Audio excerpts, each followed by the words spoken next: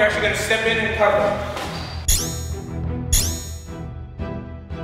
So Jeff's gonna bring his, his glove back, and I'm gonna do it straight.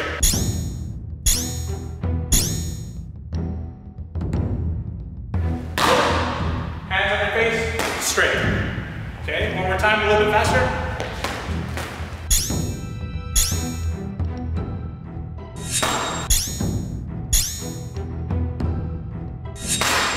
Okay and I always bring my hands back to my face. Don't have your hands here. This is not this is not a ready position because in a real fight, your hands will be here. But if you practice with your hands here, in a real fight, they'll probably be here, and that's much better than